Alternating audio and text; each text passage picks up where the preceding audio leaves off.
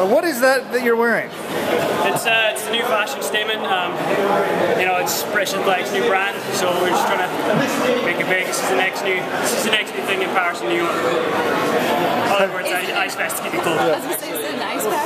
Yeah, it's big, just just a big ice pack, big back frozen back piece. So you wear it before and after the race? No, not before. Just uh, dunk my t-shirt in the ice and. Uh, before and, and this it's kind of it rubs a little bit, it's jogging, so yeah, nice. Yeah. So, Kurt, auto qualifier, how do you feel about that? Good, yeah. I was uh, pretty pretty spooked when I almost went down just after the bell, but just tried to stay composed and slashed on the back of Silas and let him me through. And how do you feel about everything coming into the championships? Good, yeah, good. Prep's gone well, so I can't complain. And what's the goal here?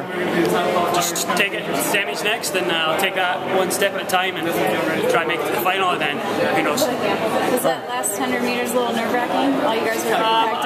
I knew I had a. If it opened up, I knew I had a little bit more to give. So I, I wasn't too worried, but you cannot, you can't always be, you can't be that confident. But